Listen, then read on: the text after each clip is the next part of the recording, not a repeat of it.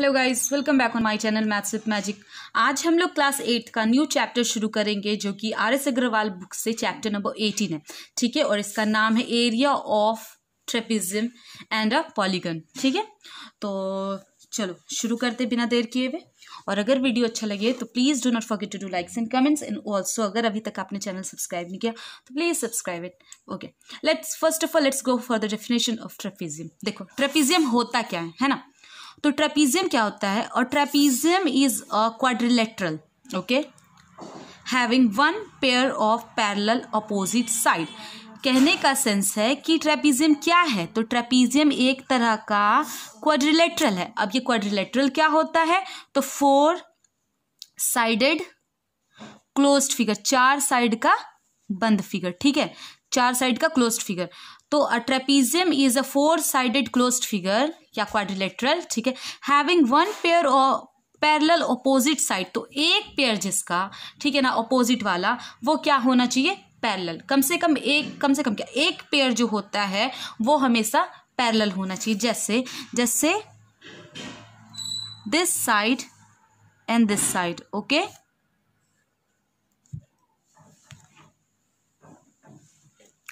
तो ये जो पेयर है, ये इसके क्या है? पैरेलल है। एक पेयर क्या होना चाहिए? पैरेलल एंड यू नो ना द मीनिंग ऑफ़ पैरेलल जो कभी भी अगर लाइन को एक्सटेंड कर भी दिया जाए तो आपस में कभी भी ना मिले। उसे क्या कहते हैं? पैरेलल लाइन कहते हैं, ठीक है? तो एक पेयर क्या होगा? पैरेलल। और दूसरा जो अपोजिट पेयर ये पैरेलल नहीं है because if you'll extend this line यहाँ पे अगर आगे खींचते हैं और ये इस लाइन को भी ऐसे एक्सटेंड करते हैं तो ये कभी ना कभी आपस में क्या हो जाएगा? मिल जाएगा मीट कर जाएगा, है ना? तो ये सिर्फ़ एक पेयर होना चाहिए पैरेलल। एक अपोजिट पेयर क्या होना चाहिए? पैरेलल होना चाहिए। ठीक है? तो ट्रेपिजियम इज़ क्लियर? कि ट्रेपिजियम क्या है? तो क्वाड्रिलेटरल क्वाड्रिलेटरल क्या होता है? फोर साइडेड क्लोज्ड फिगर ठीक है? जो कि लाइन सेगमेंट से बनता है। Having one pair of parallel opposite side एक पेयर जिसका क्या होता है? एक पेयर जो है ना, दो पेयर है ना? इस, एक ये पेयर है, इन दोनों का पेयर और ये एक पेयर है। तो एक पेयर क्या होना चाहिए? पैरेलल होना चाहिए अपोजिट साइड का। इसकी अपोजिट ये और इसकी अपोजिट ये। तो कम से कम नॉट कम से कम। एक पेयर क्या होना चाहिए? पैरेलल होना चाहिए। अब जैसे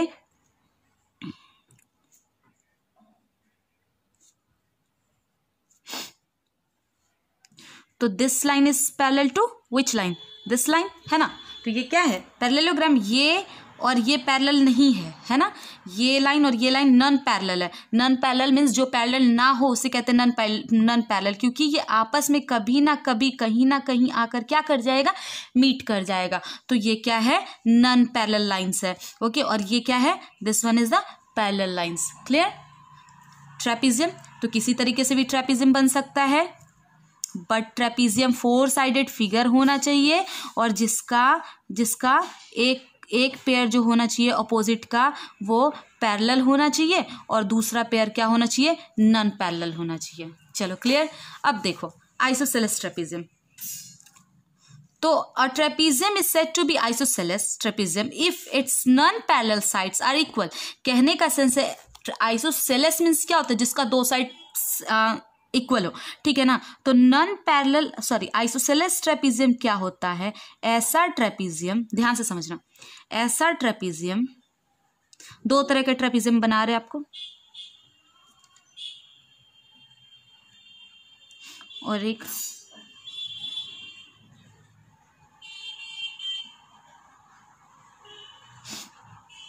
तो in these two trapezium what similarity we can see but what dissimilarity we can see कि देखो, ये लाइन ठीक है, इसके पैरेलल है। तो ये तो सिमिलैरिटी हो गया, इसका ये पैरेलल ट्रेपिज्म तो है। लेकिन इसमें ये जो लाइन है ना दिस मान लो this one is five centimetre and this one is also five centimetre this one is two centimetre and this one is five centimetre okay तो क्या है ना कि इस वाले में जो नॉन पैरेलल है नॉन पैरेलल तो ये और ये है, ये जो नन पैरेलल साइड्स है, वो क्या है? इक्वल होगा। नन पैरेलल साइड्स क्या होगा? इक्वल पैरेलल साइड इक्वल नहीं, नन पैरेलल साइड क्या होगा? बराबर। अगर ऐसा ट्रेपीजियम जिसमें जो एक पेयर तो पैरेलल होगा ही अपोजिट साइड्स का और दूसरा जो नन पैरेलल होगा, याद रखना नन पैरेलल वाला साइड जो होगा, वो क्या होगा? अगर दोनों का नन पैरेलल साइड का लेंथ बराबर है तो समझना वो आइसोसेलेस ट्रेपीजियम है। और अगर जैसे मान लो एक टू सेंटीमीटर और एक फाइव सेंटीमीटर दिया, यानी यहाँ पे लेंथ सेम नहीं है है ना? तो ये सिंपल सा ट्रेपीजियम लेकिन अगर नन पैरेलल साइड का लेंथ सेम है तो वो isosceles trapezium is it clear naming आप कर सकते A E B C D ठीक है? तो A B and C D जो हुआ वो पैरेलल साइड ठीक है? Non parallel side A D and B C A D and B C are the non parallel side but this two non parallel sides are but this non parallel sides are equal ठीक है? तो अगर equal हो तो वो isosceles अगर equal ना हो तो वो सिंपल सा ट्रेपिजियम ट्रेपिजियम तो होगा ही। मान लो E F G H okay E F is parallel to G H E F E F is parallel to G H but non parallel sides क्या है? ये E H and F G are the two non parallel sides okay चलिए, अब समझते हैं हम लोग area of trapezium okay so देखो एरिया ऑफ़ ट्रेपीजियम क्या होता है? क्या है फॉर्मूला जैसे एरिया ऑफ़ रेक्टेंगल होता है लेंथ इनटू ब्रेथ है ना? एरिया ऑफ़ स्क्वायर होता है साइड इनटू साइड उसी तरीके से एरिया ऑफ़ ट्रेपीजियम क्या होता है? हाफ़ यानी one by two into sum of parallel side मतलब जो जो दो नन जो दो पैरेलल साइड्स होंगे, उनके उनके जो लेंथ होंगे ना, ठीक है? उसका sum into distance between them और तो वो जो देम मीन्स फॉर वॉट कि वो जो नन जो पैरेलल साइड्स है ना उसके बीच का डिस्टेंस लाइक like, देखो suppose this is the trapezium okay this one is the trapezium तो कैसे एरिया निकालेंगे? Suppose if it is given five centimetre and this one is the ten centimetre okay this one is a ten centimetre okay and height देखो तो distance between them मतलब इन दोनों parallel lines के बीच का डिस्टेंस तो याद रखना डिस्टेंस जो होगा ना, ये हो सकता है, ये हो सकता है, कहीं से भी हो सकता है, ठीक है? बट ये डिस्टेंस कभी नहीं होगा, ये डिस्टेंस हम नहीं ले सकते, या ये डिस्टेंस नहीं ले सकते, याद रखना स्लैंटिंग कभी भी डिस्टेंस नहीं होगा, वो परपेंडिकुलर डिस्टेंस हमेशा होता है, ठीक है? डिस्टेंस जैसे इस पैरल लाइन और इस पैरल लाइन के बीच का जो ये डिस्टेंस होगा ना, ये परपेंडिकुलर डिस्टेंस हाँ ये होगा डिस्टेंस ये इसे कभी भी डिस्टेंस नहीं लेंगे. ये जो नॉन पैरल साइड का जो लेंथ दिया होगा ना, उसे कभी भी हम डिस्टेंस नहीं मानेंगे. Okay and suppose this one is given this one ये जो हाइट होगा, ये मान लो दिया है, ये भी मान लो, ये दिया एट सेंटीमीटर सपोज़ ठीक है? तो देखो कैसे एरिया निकालेंगे. एरिया हमें निकालना है. एरिया ऑफ़ ट्रेपिजियम ठीक है? ट्रेपिज्म शॉर्ट में ट्रैप लिख सकते हैं। Half into sum of parallel sides okay tell me the parallel sides का लेंथ क्या है? Ten centimetre plus this five centimetre okay into distance between them यानी ये distance its eight centimetre okay clear बिल्कुल फॉर्मूले पे पुट किया। Half half into into sum of the parallel sides तो okay we will write the length of the parallel side तो length is ten centimetre एक और दूसरा फाइव तो टेन प्लस फाइव सम है, इसलिए ऐड किया. Into okay distance between them तो we will add the distance between the parallel will go for the distance between the parallel lines okay ना?